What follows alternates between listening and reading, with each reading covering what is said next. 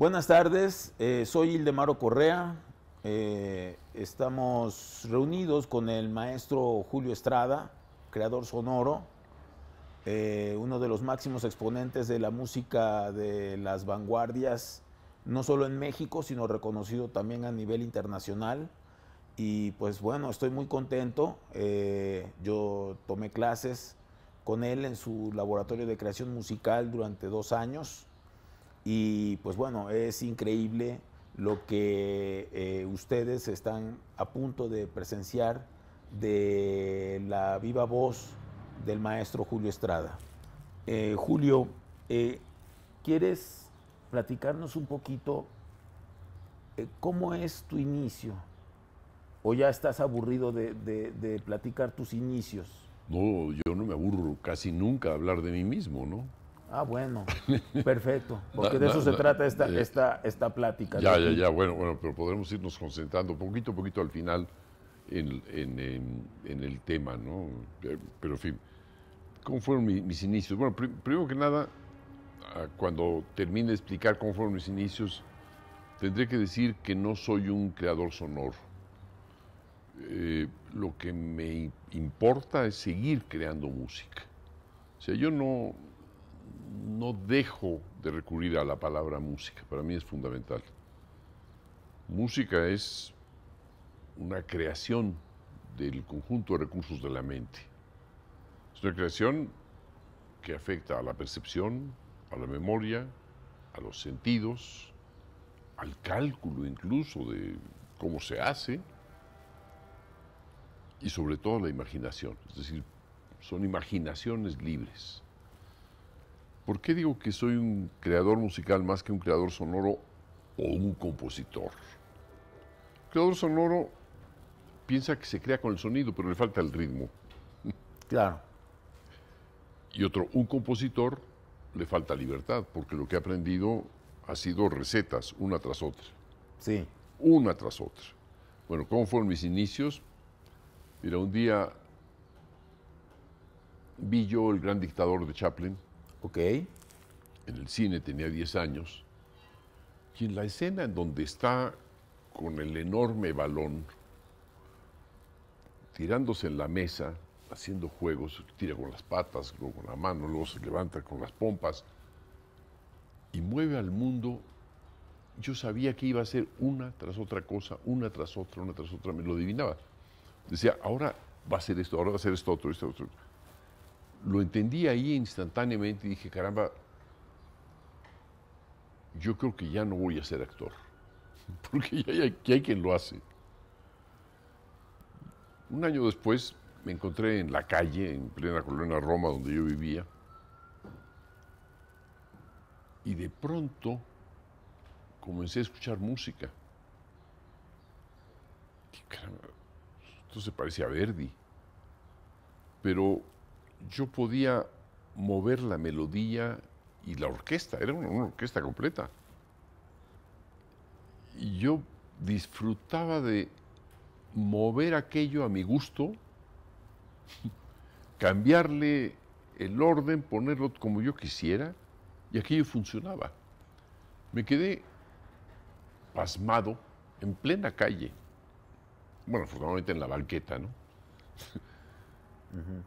Fue uno de los momentos más importantes de toda mi vida y me iluminó. Okay. Llegué a mi casa y dije, mamá, voy a ser músico. ¿Qué edad tenías? Diez años, once, once años. Mi madre dijo, no, músico no, de ninguna manera. ¿Tu mamá? Mi madre, sí. Mis padres eran españoles. Tu, eh, ¿Tu papá? Sí, sí, sí. Mis padres eran españoles. ¿Eh? ¿El qué decía? Bueno, a él le asustaba que tener un hijo músico, porque él había sido militar, ingeniero, matemático, y pues veían más bien con mucho temor, había, acababan de pasar la guerra civil española, él fue jefe del Estado Mayor Central de la República, de acuerdo. jefe de la inteligencia militar también, y eh, del lado de mi madre, después descubrí que había tenido dos hermanos fusilados y uno de ellos quería ser músico. Ok. Entonces, mi madre me vivió de alguna manera como su hermano muerto. y no, no quería, no quería que fuéramos, eh, al menos yo, músico. Entonces, bueno, se opuso y me hice un piano con tenedores y cuchillos. Y con las grandes enciclopedias de mi padre, pues servían de, de, de peso para que yo pudiera activar mecánicamente. Durante un año hice todos mis estudios, pero inventaron que yo no pasé el examen de secundaria. De examen de secundaria. Qué raro. ¿Para qué? ¿Para qué pasarlo? Eso, era, además una tontería. Una tontería. Totalmente. Claro que lo pasé, pero me lo inventaron y dije, bueno, ¿qué voy a hacer? Tienes que hacer la secundaria y la preparatoria y una carrera, y después ya serás lo quieras. Hice la secundaria y era muy violento aquello, ¿no? A los 14 años dije, me largo de esta casa, no quiero saber nada más de ustedes, son los idiotas, y lo que quiero es hacer música. Ah, pues vete a, vete a donde quieras, pues me largo. Y me vine en dirección del conservatorio, porque yo creía que en el conservatorio había músicos. Luego ya me di cuenta de que no había tantos, ¿no? Y, ya en, esa dirección me alcanzó mi hermano y me dijo, no, no, no, no te vayas, no te vayas, no te vayas. Dije, no, es una trampa tuya con mis padres, yo me voy, pero ¿dónde vas a ir? Dije, donde sea. Al conservatorio. No sé qué voy a hacer, pero que voy a estudiar música, voy a estudiar música, se acabó. Me dijo, no puedes hacer eso. Dije, sí, es que es lo que voy a hacer. Me dijo, pero mira, voltea para atrás. Volteé para atrás y eran mis padres, con unos, cada uno con un pañuelo blanco en la mano desde la ventana en un cuarto piso. y dije, es una trampa, ¿no? Ahí no regreso. Me dijo, mira, si no te dejan, me voy contigo. Wow. Pero bueno, de acuerdo. Era tu hermano mayor. Mi hermano mayor, sí. Ok. Y regresé, dije, mis condiciones son estas. van a comprar un piano, me van a pagar clases y no me van a molestar. Sí, voy a hacer la secundaria, ya la había terminado, voy a hacer la preparatoria, pero eso de estudiar una carrera, eso está por verse. No, tienes que... No, por el momento cumplo esto. Y así fue, lo cumplí. Y en un momento en el que fui a inscribirme a la, a la universidad, había terminado ya la, preparatoria, en la ventanilla le dije a, a, una persona que se ocupaba de música y de enfermería, curiosa universidad, ¿no? Nos ponían juntos. Y me conocía, la había yo conocido en la, en la Facultad de Filosofía y Letras, era alguien que sabía literatura. Ya.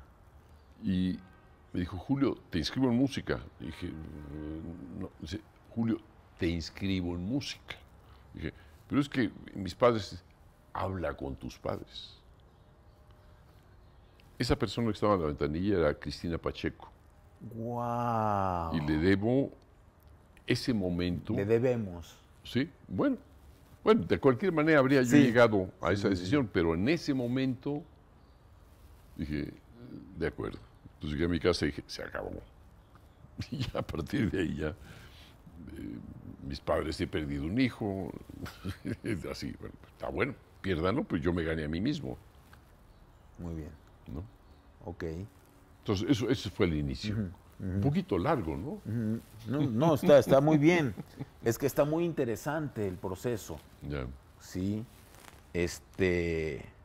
A mí me ocurrió lo contrario. Yo tuve el apoyo siempre incondicional de mi padre y de mi madre y de toda mi familia. Entonces, eh, para mí es eh, sorprendente la voluntad que, puede tener el ser humano cuando cuando quiere, cuando tiene un objetivo ya que quiere realizar, ¿no?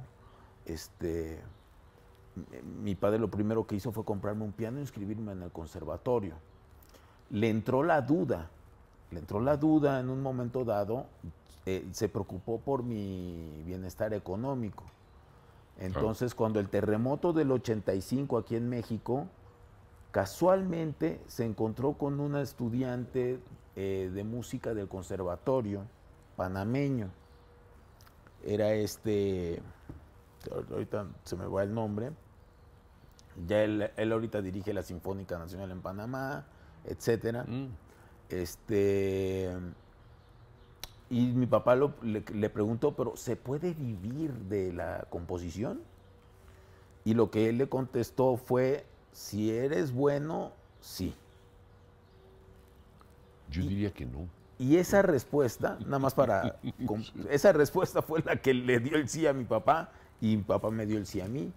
Y este me consiguió una beca del ejército panameño para venirme a estudiar música, composición aquí a, México. Mi papá era, él llegó a ser capitán médico del ejército panameño, ah, aunque no era de carrera militar. Te digo que los militares dan hijos músicos, afortunadamente. Él era amigo de Omar Torrijos, ¿te acuerdas de Omar Torrijos? Sí, cómo no. Bueno, e, era, era amigo de él y Omar lo, el general lo, apreciaba mucho porque era de los pocos médicos que, por voluntad propia y por un amor hacia eh, la, la, política de salud pública de Torrijos iba a la montaña panameña a las giras médico-asistenciales entonces, este, pues bueno, Torrijos lo apreciaba por eso. Y pues son, somos en ese sentido casos distintos, pero me, me es lo que, me, lo que cuentas es sorprendente. O sea, cómo, cómo eh, lograste que tus padres cambiaran de opinión.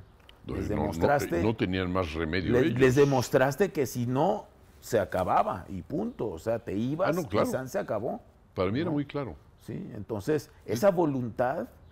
No era tanto la voluntad, ¿sabes? De niño yo leí muchas biografías de músicos. Me refiero a la voluntad como Schopenhauer. Sí, sí, sí, Pero digo, de niño había leído muchas biografías de músicos y me, me inspiró en la biografía de Bach el momento en el que él decide dejar la casa familiar para irse a buscar a Buxtehude. Él ya tenía formación de músico, no estaba abandonada. Abandonó la casa del hermano, el hermano era un poco cabrito. Sí. Y realizó eso y, claro, esa biografía de niños era contada cuando tomó una varita y se puso un pañuelo. Ah, Exactamente lo, lo, mismo hice yo. Así una varita, un poco de ropa, eh, eh, los chasis en, en una en una, en una toalla, una cosa así, y eché un papel pautado, un lápiz y una goma. Eso fue todo lo que me llevé. Sí. Dije, no quiero nada más, no necesito nada más. ¿Y a dónde voy? Pues, pues, como un perro con olfato y a donde hay músicos. Ahí voy. ¿Sabes algo, Julio? Ese poder que tiene la música, seguramente si me hubiera tocado el mismo caso que a ti, igual. Y creo que, que eh, hay muchos casos de esos. Eh, tengo un alumno que lo preparé durante unos meses para el examen de admisión en clarinete eh, en la UNAM. Em, a él ya lo habían rechazado y creo que se lo dijeron incluso directamente. ¿Por qué? Él tenía 27 años y no lo dejaron entrar no por fallas técnicas, sino por la edad. Entonces, este... Eso es relativo. Eh, la, edad, es lo que pienso yo, la edad es, relativa, o sea, no, no necesariamente si, si eres joven te van a convertir en un gran músico. Pueden pasar muchas cosas en el camino. Pero este muchacho me demostró que sí podía ser músico, o sea, sí nos pusimos a darle duro al entrenamiento auditivo, a, la lectura, eh, a, un poco a la armonía sobre todo, porque los conservatorios te exigen por lo menos tres años de conocimientos en armonía. Y, bueno, yo en, en 11 meses eh, preparé a dos alumnos y los dos entraron. Eh, uno al Conservatorio de Querétaro, a, la Universidad Autónoma de Querétaro en composición, y el otro, eh, este muchacho de clarinete, al Conservatorio de Toluca. No son las mejores escuelas del mundo, pero este, pues algo, por lo menos biblioteca tendrán donde puedan consultar. Ninguna escuela de música es buena en la medida en la que lo que les interesa son las técnicas, los sistemas y desarrollar habilidades. Pero ninguna desarrolla el potencial que está ahí todavía sin haber sido tocado. Uno va a estudiar música porque uno no entiende de qué se trata. Dice, bueno, quiero ser músico, pero ¿cómo le hago? Yo lo sabía muy bien cuando me quedé pasmado en la calle. Eso sí que lo sabía yo. Pero no sabía cómo organizarlo. No sabía cómo pasar de ahí al signo. Una de las peores cosas que tienen los músicos, y digo tienen porque yo no me considero de ese grupo, es la necesidad de comunicar todo por signo, en vez de comunicarlo todo al oído. Qué aberrante, ¿no? Es como si un pintor tuviera que utilizar símbolos o signos para pintar. El pintor llega, ve el color, ve la tela, ve en su imaginación y hace un trazo. Sigue el trazo y va dando más trazos hasta que lo entiende. Y poco a poco va construyendo aquello y dice, por ahí va, por ahí va, se va enterando según pinta. A veces es un pintor libre, está, está haciendo un retrato, también puede ser que diga, de esta manera voy a hacer el retrato. Pero un músico caramba, parecemos sordomudos, que me perdonen los sordomudos por la ofensa. Porque para decir, quiero que suene esto, tengo que consultar el abecedario y decir, esto solamente puede sonar como si bemol o mi bemol, como tu alumno del clarinete, y nada más. Y esto, si bemol y mi bemol, se combinan solamente con estas otras notas y nada más. Y lo único que te transmiten es una prohibición en vez de un, en vez de un permiso. un obstáculo. un obstáculo, sí, es decir, por aquí no puedes pasar mientras no entiendas este vocabulario, es decir, este sistema de signos. O sea, aquí nos comunicamos en silencio. Bueno, es que, es que me parece una comunicación de idiotas, francamente, de idiotas. Si un arquitecto dice, a ver, ¿cómo quiere hacer una casa? Pues se pone y dibuja o toma unos papeles, unos cartones y vamos, construyendo una maqueta y dice, pues por ahí va, lo explora.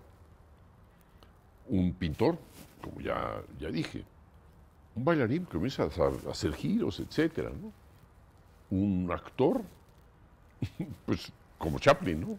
¿Había que estudiar mucho para eso, para ser Chaplin?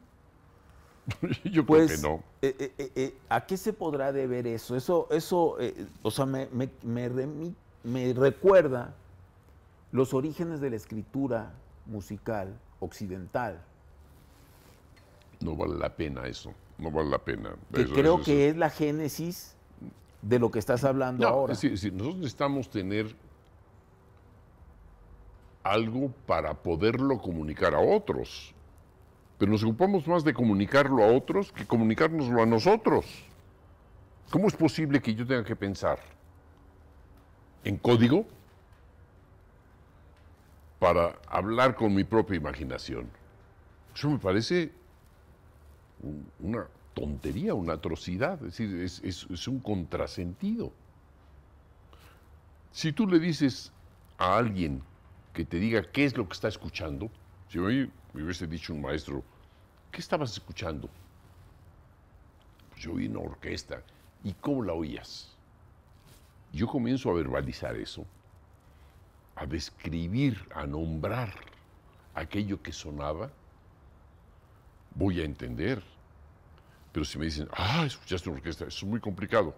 Cuando llegues a quinto o sexto año, tendrás orquestación. Pero es que el, maestro o es tonto desde que sus padres eran novios, o piensa que el tonto es el niño. El niño no es tonto, lo atontan. Entonces, no hay un lugar peor para perder la libertad y hacerle perder la libertad a alguien que un conservatorio o una escuela de música. No hay un lugar peor. ¿Por qué? Porque no les interesa saber qué oye el otro. Así es. Sino decir al otro lo que oye el maestro, lo que ha oído la tradición, lo que se oye, lo que se debe oír y lo que no se debe oír. Yo tengo en mi haber más disgustos con maestros, más expulsiones. Tengo la honra de haber sido expulsado del conservatorio. ¿Dónde queda por acá? Por acá, acá. Bueno. Pues ya somos dos, porque acuérdate bien que a mí me expulsaron de la UNAM. Bueno, eh, muy bien. Eh, mal hecho. Mal, hecho, te iba a decir muy mal. Mal, hecho, mal hecho. del conservatorio en el momento en que yo entendí que quien quería enseñarme algo no entendía lo que yo estaba pensando, dije, perdón, pero con usted no puedo seguir hablando. y me corrió. Pero no solo, no solo esta persona, sino cualquier otra persona. Así que he conocido a los mejores, los más grandes maestros. No te entienden. Y muy pocos entendían de qué se trataba. Sí. Es decir, en realidad, quien quiere ser músico y quien entiende, quien logra entender quién es o, qué problemas tiene, Julio, se pone a estudiar por cuenta propia. Es decir, es, el autodidacta el único que encuentra cómo librarse de una educación que te están llevando de la mano y tienes ya 30 años y te siguen llevando de la mano. así es.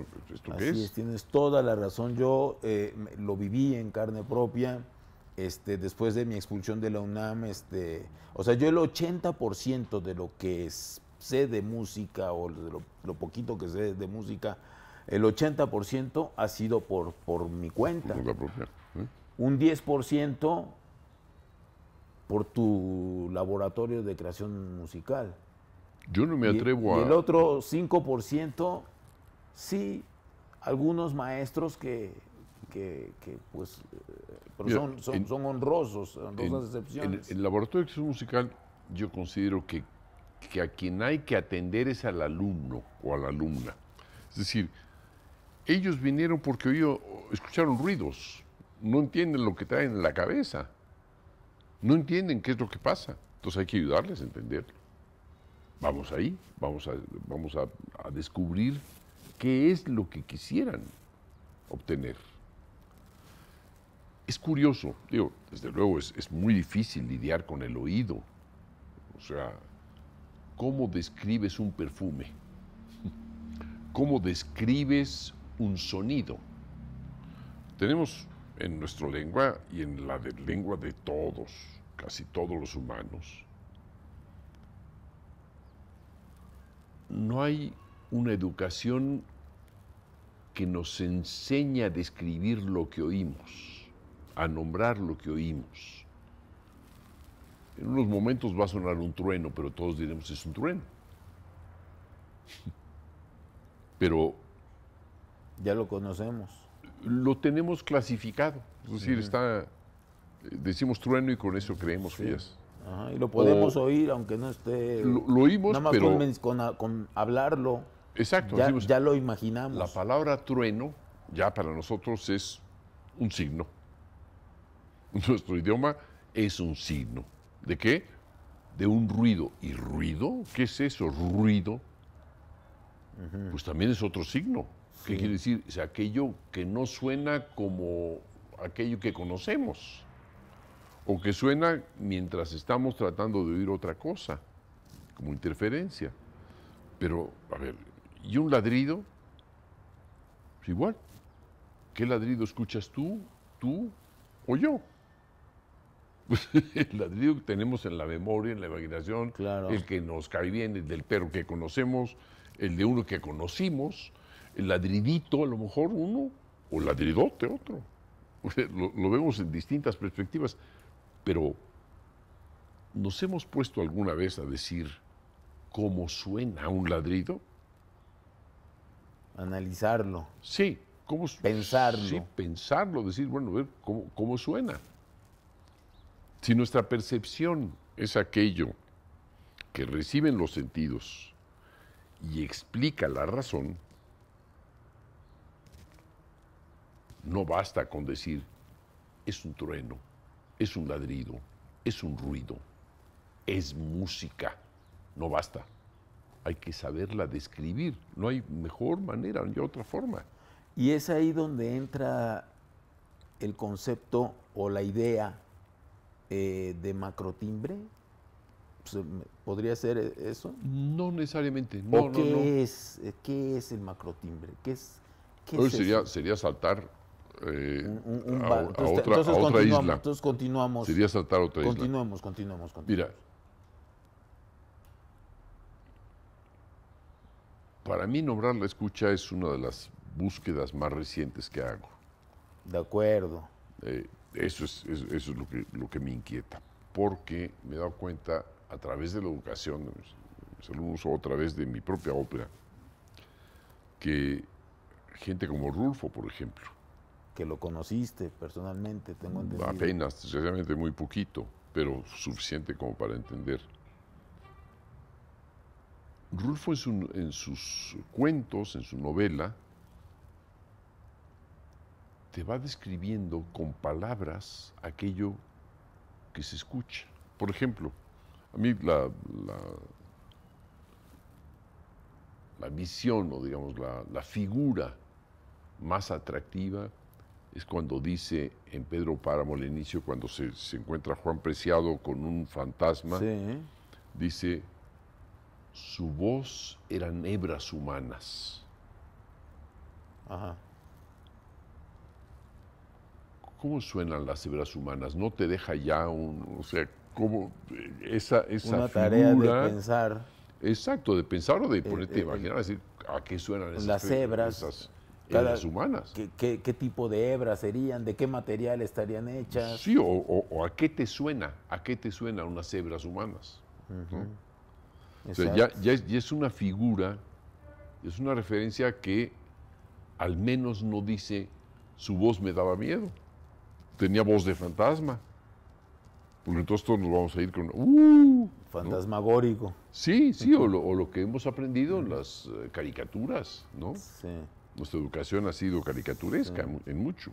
Sí, la tele nos educó. Bueno. Sí, y el cine también.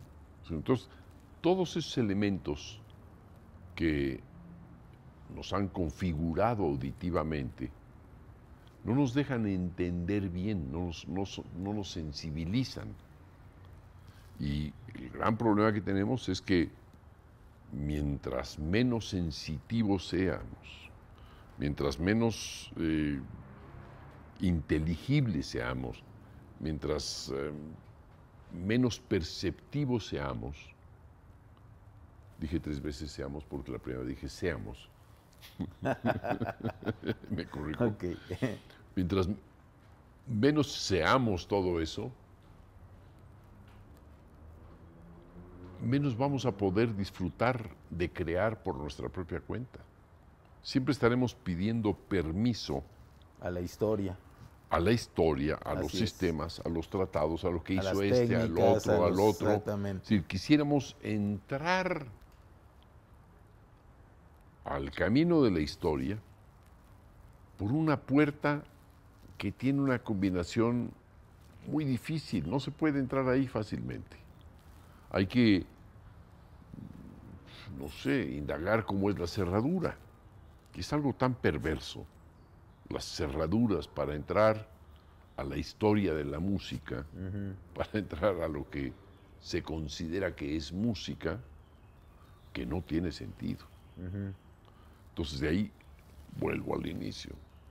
No soy creador sonoro, sino creador musical. Fíjate que eh, eh, mencioné creador sonoro porque creí que esa era, equivocadamente ahora ya, ya lo vi, que esa era tu idea, que más que música era eh, sonido. No, no, no, no. Pero no, fuera sonido sería muy es una confusión mía que me viene de hace 20 años, que algo que habrás dicho que no te entendí en el, en el laboratorio de creación musical y este, pero ya por el nombre está, Laboratorio de Creación Musical, no Laboratorio de Creación Sonora. Sí, sí, sí. Mira, por ejemplo, ¿por qué digo música?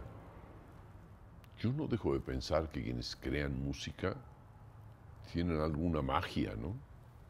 Es decir, un músico hindú que canta, o toca la cítara, o hace los ritmos, por poner un ejemplo. Hay unos músicos que te transmiten más esa magia, de la misma manera en que te lo transmite Schubert. Yo creo que fue de los poquísimos músicos que entendió lo que eran las emociones y el afecto, expresado de una manera tan sencilla, tan directa, casi, casi tan popular. Sí. Sí, tan, que, tan que este, no, no tiene demasiada especulación y sin embargo se lo inventa todo. incluso por momentos. Sí, se lo inventa todo con muy poquito. Sí, con muy poquito, pero hace unas cosas. Pero hizo ese, ese poquito es justamente oro molido. aquello que le permite llegar más lejos, ¿no? ¿Más lejos de qué? En el sentido de la emoción. Su emoción no está controlada, no está cuadriculada. Sí. La técnica no lo avasalló. La técnica de aquella época no lo avasalló, la- él la superó. tenía cincu- Sí. Bueno, tuvo, tuvo que estudiar con una cantidad de, de tipos rígidos. Bueno, Haydn era bastante bueno, pero por ejemplo con Salieri, tuvo que estudiar con Mm, Ya ese me tío. imagino. Ya, El maestro. Salieri. Sí, sí, sí, el mismísimo. Sí. Pero, eh, digo, el hecho de que Schubert incluso cometa faltas de armonía, me parece magnífico porque creó sonoridades que no estaban permitidas. Sí, así es. Pero que sí, eh, eh, eh, no son fallas, no creo que sean, que sean, este, eh, sí, buena idea. Este, Ahí va, este acá. Ya. eh, obviamente las hizo totalmente consciente. Tal vez haya eh, encontrado en Schubert eh, errores ortográficos, ¿no? Según el sistema armónico. Pero, o sea, Schubert te podía hacer una modulación sin pasar por ningún tipo de, dominante auxiliar, o sea, directo. ¿no? Y, y- y tuvo éxito en su momento. No me conozco bien la biografía de Schubert, no sé qué tanto rechazo haya tenido su música en aquel momento. No era creo que no, creo que sí No, triunfó. había las Schuberteadas en Viena, donde presentaba sus canciones y con amigos y se hizo de muchísimos amigos. y muy- le tocó Beethoven con- como contemporáneo. Un Ujú. poco más, más viejo Beethoven, tal vez. Sí, claro, era, era la figura más, más Sí, importante en toda Viena, sí. ¿no? Y Schubert era una figura muy pequeñita. Beethoven es otra cosa. Beethoven es, justamente, Beethoven ladra. O sea, Beethoven no, no se comunica a través de una melodía. ¿Por qué? Porque era sordo. ¿Cómo se comunica un sordo? Pues. Oiga, oígame. ¿no? Un sordo, eh, fíjate cómo, cómo se comunica un sordo. Mejor que un músico. Los músicos solamente lo escriben así con su maquinita y dicen, a ver, ahí está lo que quise decir. No, Beethoven se comunicaba a golpes, aquí está, golpeaba la... Te imagínate a, a- a Beethoven pidiendo su cena en una taberna. no, ¿Qué hacía? Eh, Quería un poquito más de cerveza. Todo era, era- era por señales así. Pero yo creo que debió de producir cosas para que los otros escucharan. ¿Cuánto en Beethoven hay de música militar? Nosotros somos hijos de militares. Él que no era hijo de militar, pero ahí, ahí tenemos un referente para nuestros padres. Los militares escuchan señales. Alerta. Sí. Beethoven está hecho de llamadas militares. Una gran, una gran parte de la música de Beethoven, Param, Pa, pa, pa, param, param, Param. param. Por ejemplo, Pam, pam, pam, pam. pam, exacto. O sea, parecen llamadas militares. La tercera, la séptima, pim, para, pam. Pam, para, Pam, para, pim. Sí, sí, sí. ¿Qué está haciendo, señores? Escuchen. Que, es un Eh, que escuchen. que es el antecedente de, de su segundo movimiento, pam param, de la novena, pam param. Exacto. pum, pum, pum. Y lo que dices, ¿no? La señal, en el timbal, pam, pam, pam. La señal es fundamental. Es decir, es el aviso. Él se comunica mediante señales, no signos. Utiliza los signos, claro, pero en el fondo lo que está aportando es una señal. Cuidado, cuidado. Ahí viene la tormenta. Sí, pim, pim, pim, pam, pam, pam, pam, parararam. pim, pim, pim. Pregunta pim, pim, pim, pim, responde. Es, es muy, muy elemental, pero es tan elemental Es- que es fundamental. Sí. Sí, y funciona perfectamente. Pues se comunican los pájaros, se comunica un perro, los, los animales, excepto los animales humanos, Pues sí. a menos que haya un Beethoven. ¿no? Eh, muy interesante todo esto que, que comentas eh, de Schubert, de Beethoven. Este, tenemos ya poco tiempo para continuar con la plática. Eh, me gustaría que nos platicaras qué es el continuo, ¿Por qué lo preguntas? porque quiero aprender, quiero saber qué es el continuo, a ver, a ver si me apego a la corriente ¿Pero o por qué me lo preguntas a mí? porque tú eres el creador de, esa- de ese universo musical, hasta donde yo tengo entendido. Mm, no. Y Xenakis creo que fue el iniciador, pero tú eres el perfeccionador. ¿Quién sabe ahí? Eh, el continuo es algo que ha existido en música desde, yo creo que desde la creación. Es como si dijéramos, hay músicos que les gusta conocer cada uno de los puntos y otros a los que les gusta conocer más el gesto ¿ok? el cómo se mueve aquello. Te diría, por ejemplo, sería exagerado decir que un músico como Bach, que le gusta tener un control de cómo se mueven cada una de las cosas, un control matemático, es distinto de un músico como Mozart.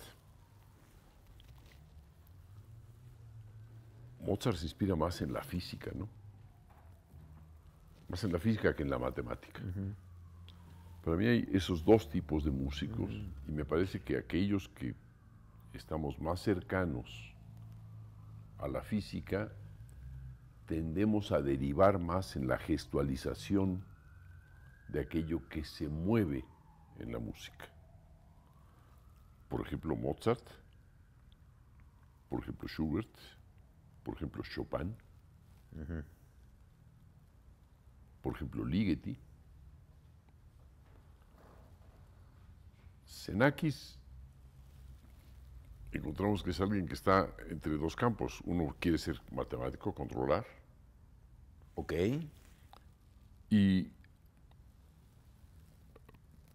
propone unas rectas que son los deslizamientos del sonido, los glissandi. Pero estas rectas no son tan curvas No. como quisiéramos, es decir, son más bien discontinuas, están de este lado. La flexibilización, digamos, que plantea el continuo es aquello que busca cómo se mueve el objeto imaginado o cómo se mueve el objeto escuchado, más que significarlo mediante cortes rápidos. Un glissando es un corte rápido. Una altura fija es un glissando. Simplemente es un cambio de ángulo. Una curva es otra cosa. La diferencia entre estructuras hechas a partir de rectas, de cuadrados, de cubos, de hipercubos, de cubos dentro de cubos, dentro de cubos, dentro de cubos. dentro de Como un cubos. fractal. No, fractal es otra cosa. O, o sea, no son como, como muchas líneas rectas que son tan pequeñitas que no se notan en la circunferencia. Al final eso es, eso es un círculo. Al O final sea, es un círculo. Pero digamos que la, la idea de un, de un continuo es más ubicarse en una esfera. La esfera no hay por dónde asirla. Todo escapa. No hay mayor espacio de movimiento que el de una esfera. no, no, hay otra cosa más que moverse. Estar en un cubo, tus opciones son, voy de este punto a este, de este punto a este, e incluso la diagonal, los Grisandi, de este punto a este, o de este punto a este. Pero vas por medio de rectas. En un mundo eminentemente rectilíneo, no existe lo continuo. Como Pitágoras, como, perdón, Euclides, ¿no? Sí, bueno, pero, había curvas en Euclides, ¿no? Sí, curvas y rectas. Mm. No, diría que es más, no es tan abstracto como lo sería el contraste entre la matemática y la física. La física es, no, es, no es una abstracción, bueno, se requiere hacer una abstracción para entender un fenómeno. Debe ser un conjunto de abstracciones que te permitan reproducir fórmulas matemáticas algo que se mueve, algo que se desplaza, algo que tiene una transformación de espacio-tiempo. Entrevistaron una vez a Einstein y le preguntaron si le gustaba la música. Dijo, sí, porque usted toca el violín, señor Einstein. Sí, toco el violín. Entonces le gusta Bach. Dijo, no necesariamente es mi predilecto. ¿Cómo? ¿No es Bach el músico matemático? Sí. ¿Y entonces por qué a usted no le gusta? Yo prefiero a Mozart, dijo. Pero, Mozart, Mozart, ¿qué es eso, no? O sea, no tiene nada de matemático. Eh, sí, pero en Mozart encuentro cómo se mueve el universo. Es el modo en el que se mueve el universo. En Mozart esto ya, yo me pasé seis meses mirando al techo, a las vigas en, mi casa, para tratar de entender qué había dicho Einstein. Einstein está suponiendo, vamos, vamos, a imaginarnos que Einstein, que tenía mucha imaginación, pensara en un encuentro de tiempos abstractos entre Bach y Mozart. ¿Dónde podría haber sido? En Potsdam, cerca de Berlín, donde los dos tuvieron un año antes de morir. Bach conoce a Jorge Federico, quien le da un tema para hacer una fuga y hace la ofrenda musical. Mozart conoce al descendiente de aquel que había conocido Bach y aquel que tocaba el violonchelo, Mozart escribe una obra. Uno de divertimentos, no sé, o un quinteto, recuerdo. ¿Qué es lo que hace Mozart a diferencia de Bach en Potsdam? El monarca era un experto en el tiempo. Y a Einstein se le ocurre, por ejemplo, decir, que había una carrera en la que estaban varios corredores en los jardines de Potsdam. Corrían en círculo y se trataba de correr con el tiempo más justo, más preciso. El que corriera a 120 o a 80 o a 84 era el más preciso. Entonces, invita a Bach y a Mozart a presenciar esa carrera.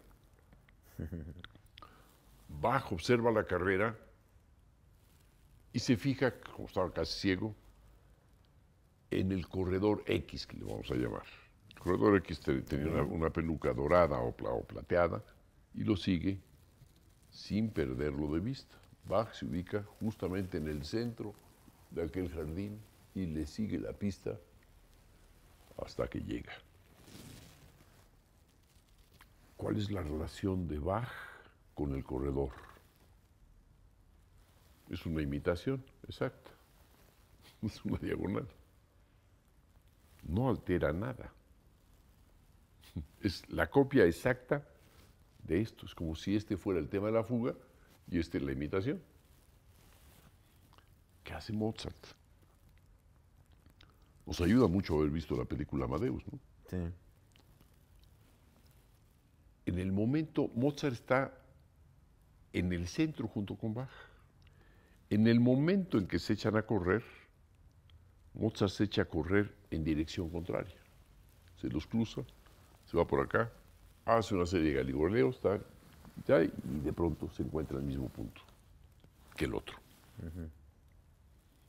No terminó en el mismo punto. ¿Está prohibido? No para Mozart. ¿Qué fue lo que hizo? La información de este círculo descrito por el corredor X no es la misma que todos estos espirales o serpentinas que hizo Mozart. No. Einstein nos habla de dos gemelos. Uno se queda en tierra y otro se va al espacio.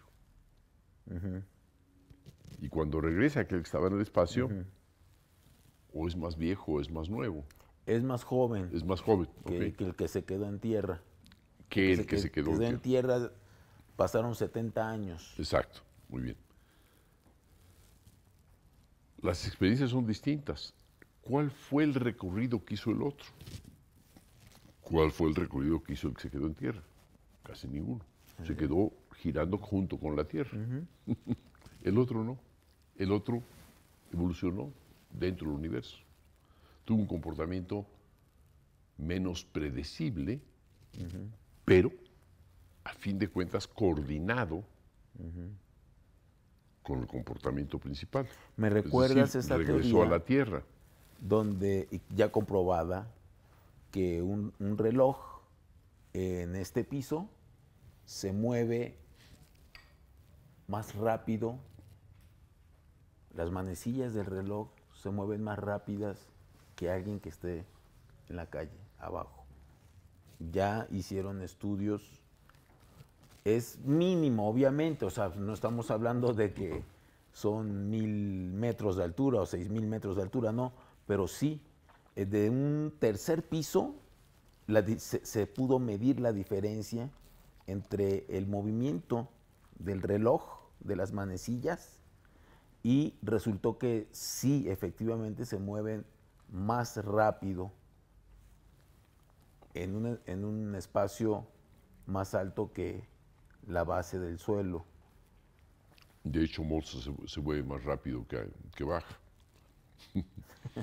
Entonces, ¿qué es lo que le atrajo a Einstein de Mozart? La relación con el tiempo. Para Einstein no hay un solo tiempo. No hay un solo tiempo. Para Einstein hay un tiempo principal y tiempos alternativos. Otros tiempos que pueden estar dentro del mismo tiempo. Ok.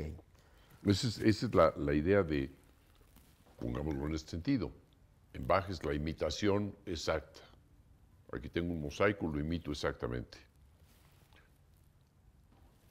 Aquí tengo un mosaico y le creo en torno al mosaico un ambiente que se mueve.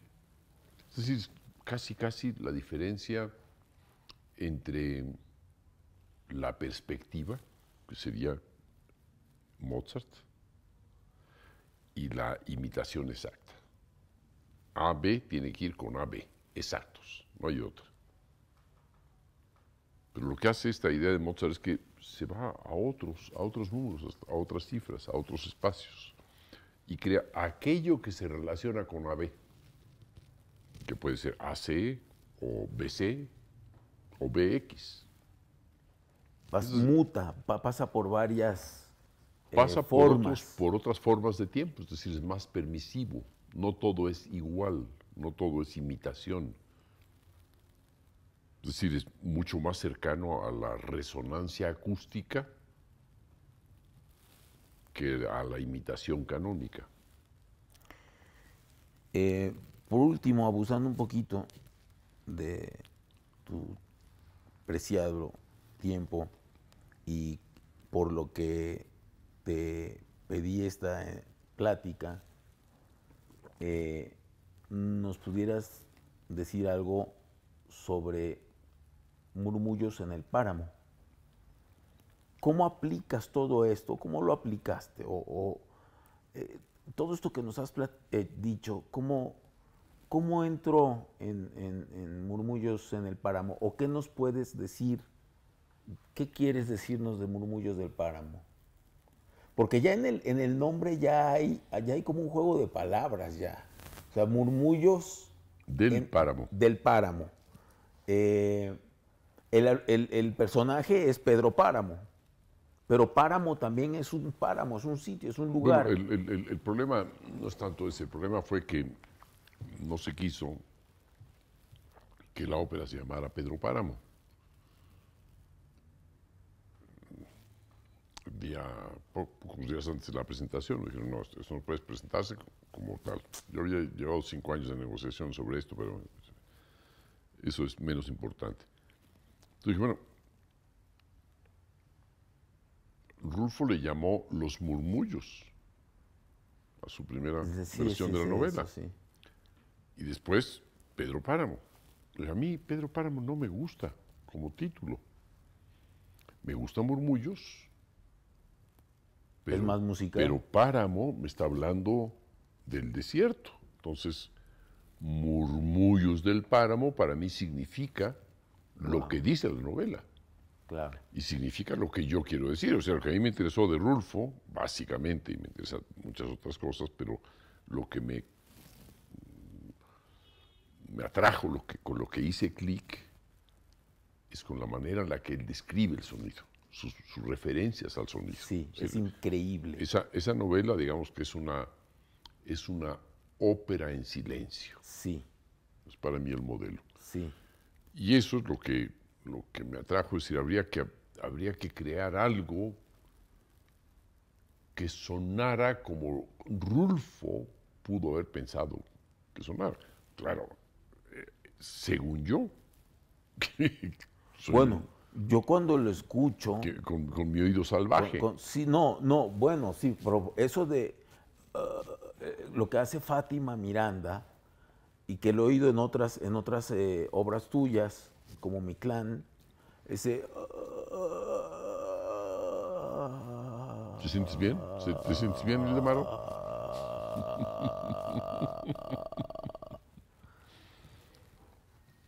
es, me recuerda como cuando uno tiene un sueño tan fuerte, tan intenso, que quiere uno como que gritar o despertarse. Ya. ¿No? Entonces, esa es la idea que, ese es, ese es el, lo que escucho en, Murmullos del Páramo. No sé si esté equivocado, totalmente fuera de, de contexto, pero sí siento eso, como cuando está y, es, y es como la voz de un muerto, cuando uno está eh, eh, tratando de, escapar de ese sueño terrible y hasta a veces se despierta. Bueno, a mí me ha pasado. Ahora que preguntas que si me siento bien, pues a mí me ha pasado. Me he despertado con mis propios gritos. Pero, ¿no? Entonces, este, eh, es por eso que tengo esa imagen de, murmullos del páramo, con, mm. con esa analogía. Cuando yo terminé de escribir un libro que se llama El sonido en Rulfo. Lo conozco, sí. El día, el día que salió el, el libro, me di cuenta que era el proyecto de una ópera. Que todo lo que había estado trabajando ahí, en el fondo, no era más que una investigación, en parte sobre Rulfo, pero en parte sobre lo que yo tenía como afinidad con Rulfo. ¿Cuáles son las voces? No son las voces de la ópera, no es una voz fina, pura, etcétera, no. Es una voz doliente, es una voz hecha de muchos recursos. Es una voz que tiene más que ver con el ser humano que con la idea de voz fija en la cultura europea. Hay un, disco muy interesante y recomendable de la UNESCO, es un par de discos que se llama La Voz. Ok. Son las voces o las canciones o los cantos en muchas regiones del mundo. ¿Cómo se canta? ¿Cómo se canta de distinto? Qué padre. Eso es una enseñanza. Yo creo no haber inventado nada nuevo, sino reunido muchas voces de muchos sitios, o muchas voces de muchas voces, en realidad. Y hay voces que estaban ahí en silencio dentro de la novela que yo quise hacer, hacer que se escuchara. ¿Cómo? A la manera en que yo lo entiendo y que lo puedo entender, que es haciendo que suene. Y desde luego, claro, sí, hay que...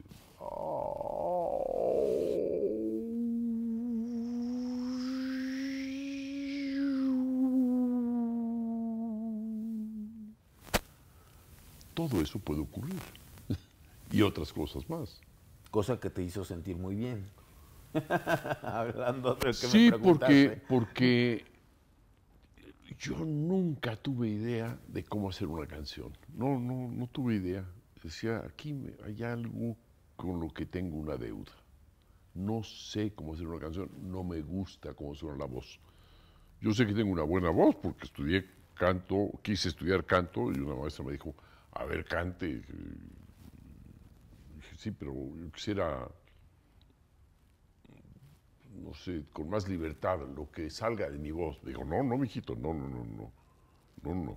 Eso no se puede. no se me salga del huacán. No, no se me salga. Dije, bueno, está bueno, ni modo, ni modo. Entonces ahí sí fue una de las primeras Rupturas. malas enseñanzas, ¿no? Esto no.